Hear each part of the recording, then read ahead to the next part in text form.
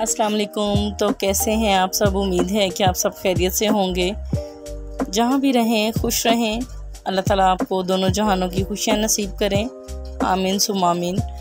आज मैं आपके लिए एक ऐसा जो है ना, वो केक बनाऊँगी। टी टाइम केक है ये। बहुत ही मज़े का बनता है और बहुत ही सॉफ्ट और बहुत ही ज़बरदस्त इसका टेस्ट होता है तो शुरू करते हैं बिसमीम सबसे पहले हम एक ब्लेंडर लेंगे, उसमें हम तीन अदद अंडे जो है वो फेंट लेंगे और साथ में हम इसमें आधा कप जो है वो चीनी का ऐड करेंगे। चीनी आप इसमें कम या ज़्यादा कर सकते हैं, मैंने पाउडर शुगर नहीं ली तो मैंने शुगर ली है, इसलिए आपने सिर्फ़ इसको जो है वो एक से दो मिनट के लिए मैंने इसको ब्लेंड करना है। बहुत ज़्यादा टाइम तक इसको ब्लेंड नहीं करना और बीच में मशीन को आपने रेस्ट भी देनी है। और क्योंकि अगर रेस्ट नहीं देंगे तो आपकी मशीन जो है वो जल भी सकती है। अच्छा तो यहाँ पे मैंने आधा कप के करीब जो है ना, इसमें ऑयल ऐड किया है। तो दो से तीन चम्मच मैंने बचा लिया है। ये मैं बताऊँगी आपको एंड पे कि मैंने ये ऑयल जो है वो क्यों बचाया है। तो आपने इसको जो है वो पचास सेकंड के लिए इसको आपने जो है वो ब्लेंड कर लेना है। अब साथ ही आपने इसमें एक चाय वाला जो कप होता है, वो एक कप दूध ऐड कर देना है इसमें। तो इसको सारा टाइम मिला के आपने इसको दो मिनट के लिए ब्लेंड कर लेना है अच्छे तरीके से। दो मिनट में आपका टेक्सचर इतना करीमी हो जाएगा, इतना सॉफ्ट बहुत ही सॉफ्ट ये हो जाएगा। आप इसको अच्छे तरीके से जो है वो जग से निकालें और इसमें जो है बाकी के जो है हमारे इंग्रेडिएंट वो इसमें डाल लेते हैं। अब जाएगा इसमें डेढ़ कप मैदा। इसमें जो मग है ना, मैंने चाय वाला डाला है, इसमें आपको मेज़रमेंट के लिए बहुत ही ज़्यादा आसानी रहेगी। तो ये मग चाय वाला है। इसमें मैंने डेढ़ कप के करीब जो है ना, इसमें मैदा ऐड करना है। तो एक ही दफ़ा आप मैदा इसमें ऐड कर सकते हो। यहाँ पे मैंने छाननी ली है, उससे मैंने अच्छे तरीके से छान लिया है। मैदे को आपने हमेशा छान के ही यूज़ करना है और इसको अच्छे तरीके से हिलाना है। एक ही साइड पे हिलाना है ताकि कोई लम्स बाकी ना रहे और कोई भी घुटली जो है ना, वो मैदे में बाकी ना रहे। तो यहाँ पे मैंने डेढ़ कप इसमें मैदा डाल लिया था। इसको अच्छे तरीके से आपने मिक्स करना है। अब मैं इसमें डालूँगी बेकिंग पाउडर बेकिंग पाउडर मैं इसमें दो चम्मच ऐड करूँगी। दो चम्मच ये टीस्पून वाले हैं। दो चम्मच आपने टीस्पून वाले डाल देने हैं। अगर आपने खाने वाला डालना है तो आप एक चम्मच ही डालें, जो टेबल स्पून होता है, ठीक है? तो अब हमारा बेकिंग पाउडर भी चला गया। इसमें बेकिंग सोडा नहीं ऐड करना बेकिंग पाउडर डालना है आपने। ये चीज़ों को खिलाने के लिए होता है। हमारा केक, इससे बहुत ही अच्छा राइस होगा। तो यहाँ पे मैंने अब जो है वो इसमें डाला था बेकिंग पाउडर पहले एक चम्मच डाला था और दूसरा चम्मच जो है वो अब डाला है। तो अब इसको अच्छे तरीके से जो है आपने मिक्स करना है। मिक्स आपने इतना करना है ताकि हमारा जो टेक्सचर है वो बिल्कुल भी कुटली ना रहे उसमें। अब मैं इसमें जो है वो इसको और ज़बरदस्त करने के लिए इसमें ऑरेंज जो है ना फ़ूड कलर वो डालूँगी, जो येलो फ़ूड कलर होता है, वो डालेंगे हम, जो जर्दा कलर के लिए इस्तेमाल होता है। तो पहले आप थोड़ा सा डाल के देख लें। तकरीबन ये जो बिल्कुल छोटी सी चम्मच होती है, तकरीबन तीन से चार चुटकी, वो वाला ये गया है इसमें।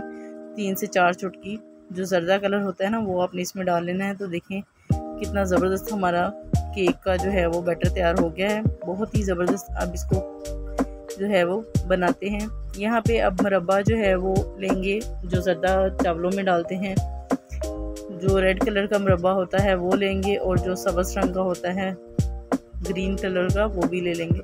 तो यहाँ मैंने जो है वो थोड़ा सा मरबा लिया था और इसमें आप अपनी मर्ज़ी के मुताबिक कम या ज़्यादा कर सकते हैं। इनको मैंने जो है ना वो बारीक बारीक पीसेस में काट लिया था। बहुत ज़्यादा मोटा आपने इनको नहीं रहने देना। और इसको आपने बारीक पीसेस में काट लेना है।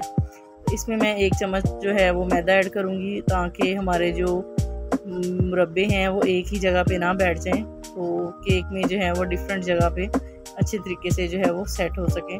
तो यहाँ पे मैंने इसमें सारा ऐड कर दिया था। यहाँ पे अब मैंने एक पैन लिया है। इसमें मैं अच्छे तरीके से इसको ऑयल से ग्रीस करूँगी। जो हमारा ऑयल बचा हुआ है तो ब्रश की मदद से मैंने इसको जो है वो ग्रीस कर लिया। यहाँ पे आप बर्तन जो है ना वो सिल्वर का भी ले सकते हैं। मेरे पास यही अवेलेबल था तो इस वजह से मैंने यही ले लिया। तो यहाँ पे हाँ बटर पेपर लेके तो मैंने इसके साइज़ का जो है ना वो माप करके इसको कटिंग कर लिया था।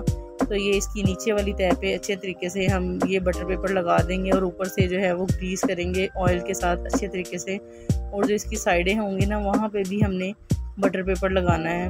तो इसकी आप मेज़रमेंट करके अच्छे तरीके से जो है वो आसानी से लगा सकते हैं। आप देख भी सकते हैं मैं कितनी आसानी के साथ इसको लगा रही हूँ।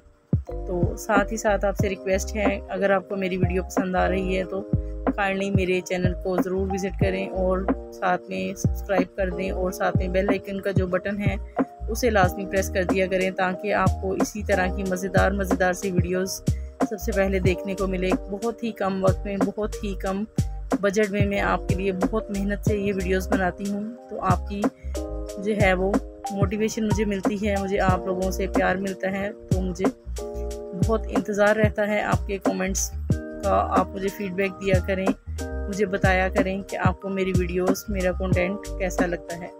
तो अब मेरा जो बटर पेपर है वो मैंने अच्छे तरीके से इसमें लगा लिया है तो अब इसको जो है हमारा जो बैटर है ना, वो इसके अंदर डाल लेंगे। और स्पेचुले की मदद से मैं इसको अच्छे तरीके से जो है वो निकाल लूँगी ताकि हमारा जो बैटर है वो वेस्ट ना हो। अगर अभी तक आपने चैनल सब्सक्राइब नहीं किया तो फटाफट से मेरे चैनल को सब्सक्राइब कर दें लाइक कर दें और अपने दोस्तों के साथ फैमिली मेंबर्स में लाजमी शेयर किया करें इस रेसिपी को। और बहुत सी मेरी चैनल पे ज़बरदस्त सी वीडियोस पड़ी हुई हैं, आप प्लीज़ मेरे चैनल को लाजमी विज़िट करें।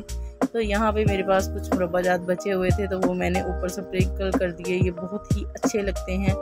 बहुत ही ज़बरदस्त हमारा टूटी फूटी जो है ना, हमारा केक रेडी हो जाएगा। बहुत ही मज़े का लगता है। आप एक दफ़ा बनाकर ज़रूर खाएँ।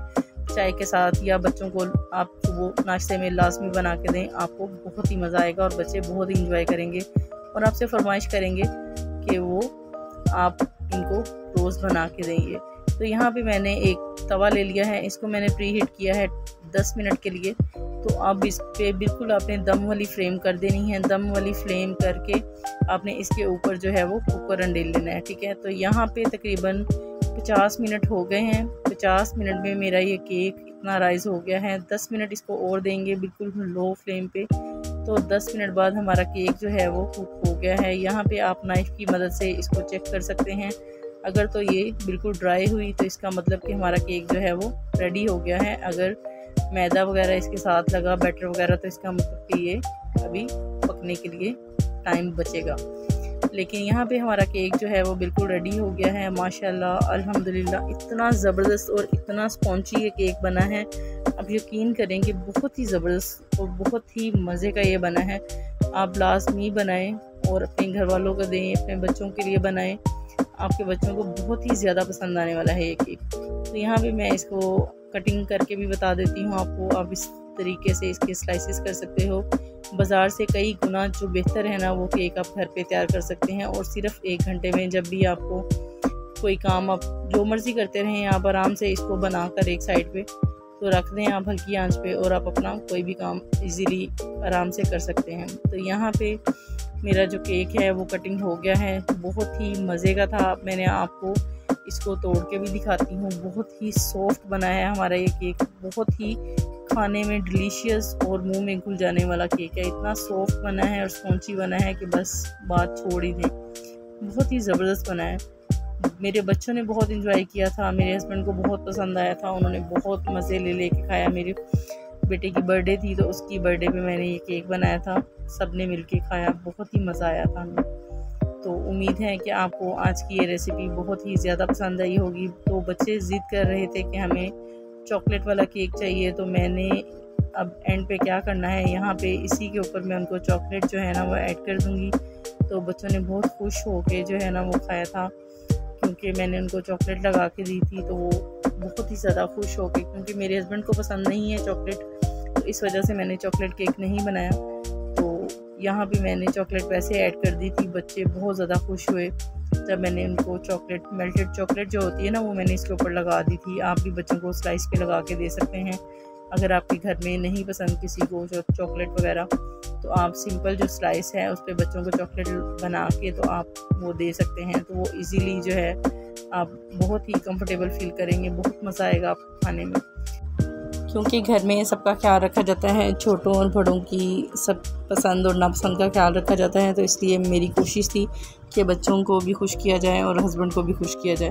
तो इस वजह से मैंने लास्ट पे जो है वो मेल्टेड चॉकलेट इस पर ऐड कर दी थी और हस्बैंड के लिए केक जो है वो सिंपल निकाल लिया था। बहुत ही खुश हुए थे बच्चे भी और हस्बैंड भी। तो मुझे दें इजाज़त, मेरी नेक्स्ट वीडियो आने तक इंशाल्लाह फिर मिलेंगे किसी और नई रेसिपी के साथ। दुआओं में याद रखिएगा। अपना और अपने प्यारों का ख्याल रखिएगा। अल्लाह हाफिज़।